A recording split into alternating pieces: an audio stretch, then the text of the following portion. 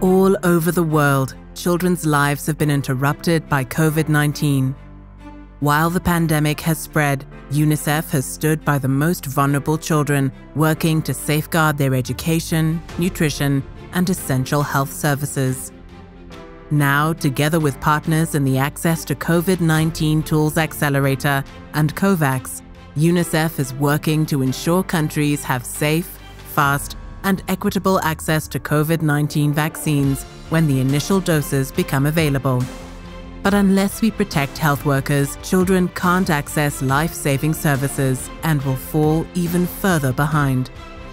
Right now, UNICEF distributes more than 2 billion routine vaccines every year. With our systems and expertise, we can double that in the world's largest and fastest procurement and supply of vaccines. We are stockpiling syringes and aiming to deliver 1 billion syringes in 2021 for the COVID 19 vaccine injections and making sure there is the cold chain to preserve the vaccine. We are training health workers and strengthening systems so that every investment made today builds a better tomorrow. Unprecedented times demand extraordinary actions. Together, we can do this.